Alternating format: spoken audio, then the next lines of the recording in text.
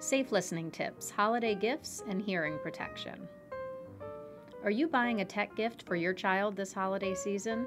More than 1 billion young people worldwide are at risk of developing hearing loss due to unsafe listening practices, according to the World Health Organization.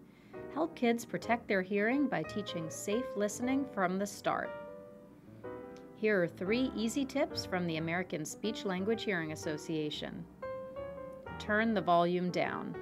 Some headphones marketed for children claim to have maximum noise output levels that won't damage hearing. But studies have shown that these claims aren't always reliable. Teach kids to keep the volume at half level. Take listening breaks. Rest is good for just about everything, including our ears. Encourage kids to take listening breaks every hour, even if for just a few minutes. This can make a big difference to their hearing health. Model safe listening. Parents, practice what you preach.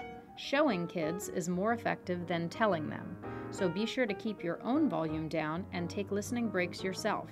Your ears stand to benefit too. Teach kids to value their hearing. By taking some simple steps, they can help preserve their hearing. Seek an evaluation by a certified audiologist if you have concerns.